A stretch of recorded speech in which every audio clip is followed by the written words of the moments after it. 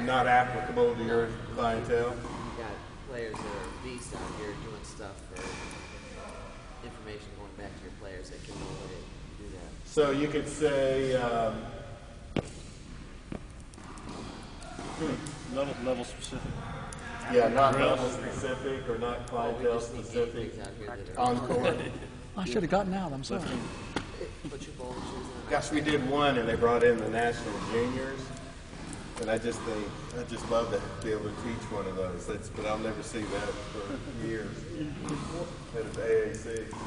Jeff, what about time? Like, I know a guy from Valdosta probably woke up at four in the morning or something, five, three in the morning.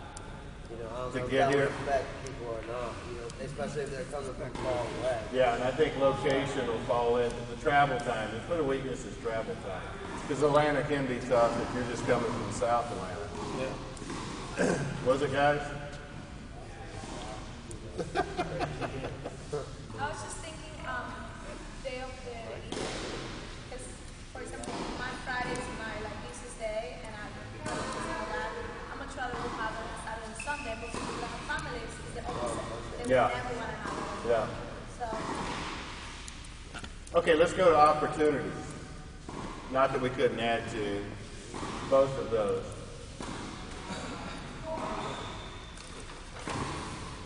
What are our opportunities? Say it again.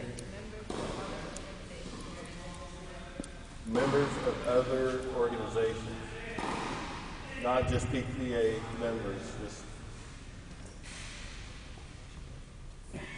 It builds relationships. I've met some pretty cool guys and girls. opportunities to build network and build relationships. Talked about young pros. How about uh, figuring out how we can do a webinar where they could sign online and still go to it, be at their facility? They're doing that. They're doing live stream, some live streaming. Live streaming. Yeah.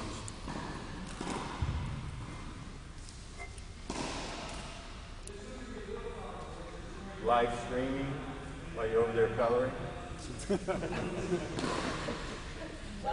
well, well, I guess Live streaming.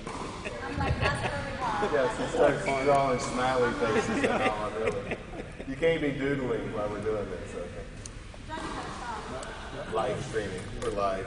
It's all right. That's okay. That's okay. It is so much just Oppor- Opportunity for better communication. Better communication. What's an opportunity that we're not using? We're using email. We're using Facebook, We could we could use those better. email, Facebook. What else could we use?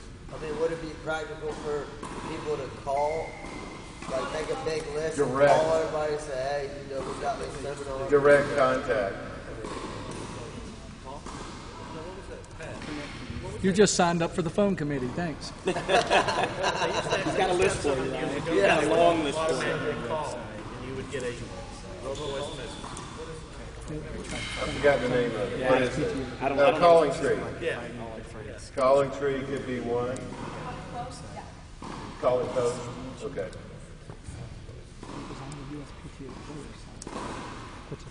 You can do e-bites. If you're old like me, I still use that.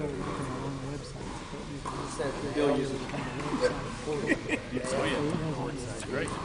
Mail, yeah, They renamed it, the yeah, direct mailing. so yes, we, it's there. Other opportunities. What would you all like to see? Let's, we talked about getting people here. What would you like to see? I, I think it'd be cool to give uh, every pro from anywhere the opportunity to speak. They did at Southern. They used to do the talk. What five minute? Was it a five or ten minute talk? And Did the there was a test- winner of that. Yes, the? I think we can do the contest. same thing for on Seminar on court. contest. To let the assistant pros and head pros of different places. Seminar. Yeah, dude. What about, what about new speakers? Yeah, yeah. Yeah.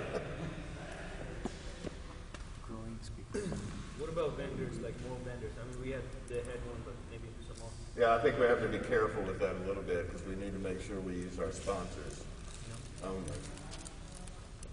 I think would be a good opportunity for you, for young pros, new pros to maybe do a half an hour presentation Just maybe shorter you just say time, that? like like we did three He's off the board. presentations today. Yeah. that were pretty good. Yeah. And maybe for new speakers on the there have a chance to get up front. That would be perfect. I think everybody, especially the new pros, the younger pros, the ones that are coming into the business, need to get up and learn what it's like to be up here and mess up your words and things and go through what you know. Uh, Jeff, a mentoring program. Mentoring program. Other opportunities. Maybe more options. More options. In other words, like somebody said, wish you had juniors. Potentially, you could have where you choose uh, this part of the facility. You got somebody speaking on juniors. This part of the facility, you got somebody doing ladies drills. Maybe an opportunity to get some other people here that are more interested. Usually it's interesting when, when the business side of the, the conferences and the seminars, you get the older guys here, the ones that already know it. And it's really, should be for the younger ones, girls and guys, the pros that need to be in here listening to it. It's- Yeah, like the consulting idea where you get certain experts in areas, work with a few people at a time, Mm-hmm. another area, a bunch of those different ones in a, in a session. Yeah. I don't know if this is an opportunity or a strength. I like it when there's just one group. Because in the past, they've been, they have an on-court and then the classroom. And if there's two of them that are, I would like to go to, it's kind of hard to split. Yeah, to, to, to pick I mean, I know it takes longer and more planning, but I like it. It's just, Sometimes that will dilute the, the session that's going on. Okay, and then let's go on to our threats.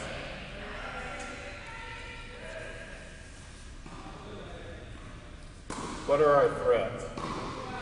Loss, loss of membership. Loss of membership, aging membership. Put that politely. we just talked about that, so I have to say that. Yo. Other organizations? I mean, threats are travel, economy, time of the year. I mean, you could kind of go through what our what our real threats are.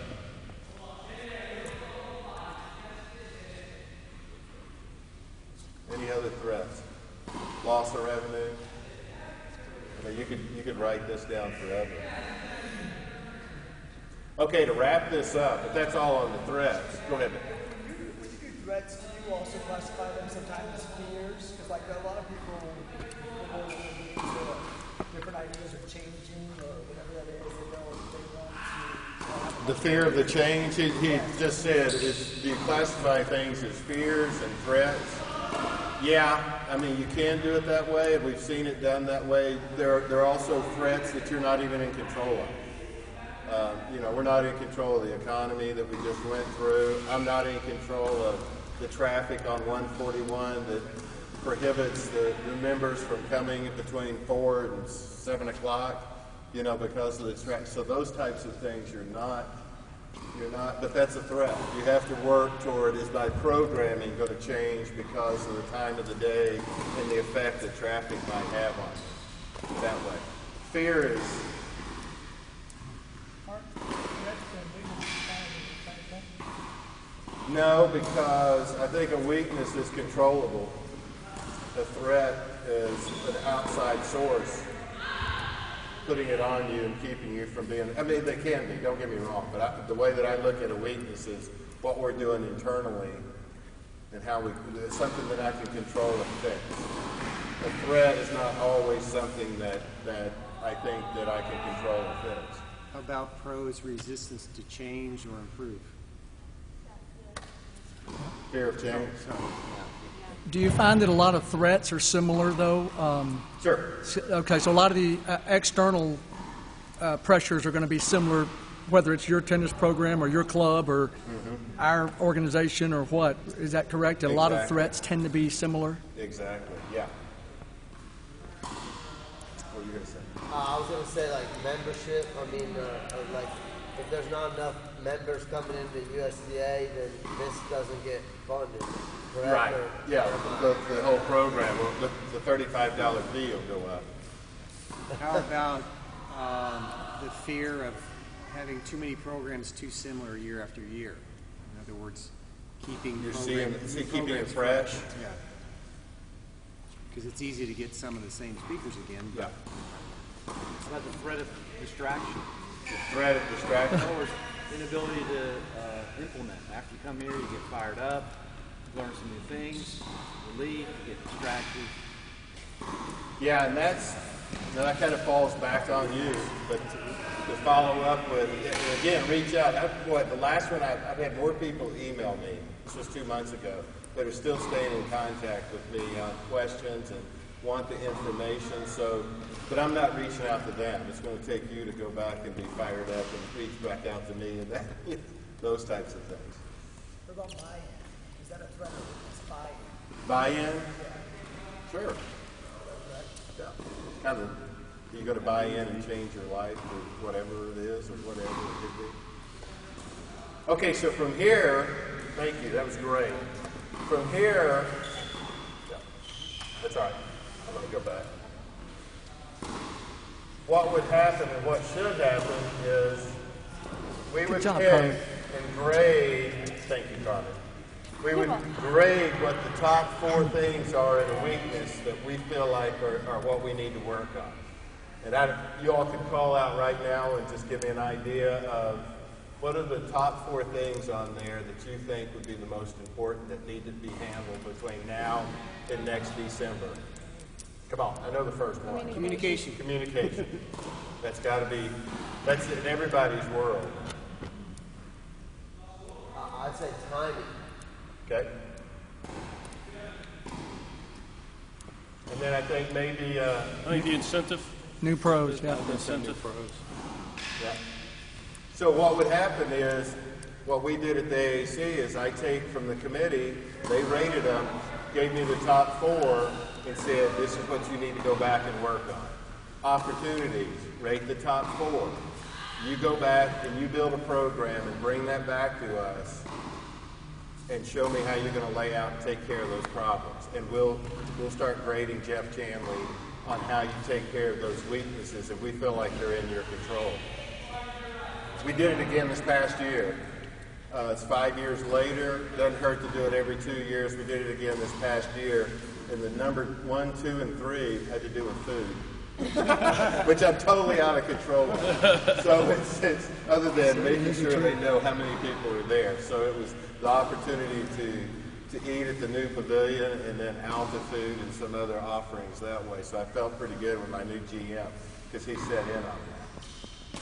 So does that kind of give you an idea of what you do with the SWOT analysis and how you handle it, and then you go back and build a program to address the top four? Once you once you correct the top four weaknesses, what do you do? You go back and go back to the committee and pick another two or three, the ones that you can handle, and keep working your way that way, and then do it every so often and uh, gives you an opportunity to stay in contact, and everybody's working together for the same goal, and everybody's on board. You don't have a staff that thinks weakness is one thing or strength one thing. The committee thinks weakness is the other.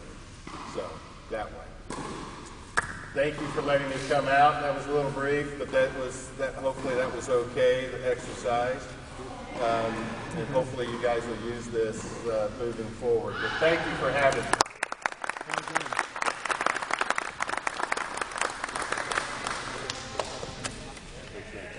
Introduce somebody?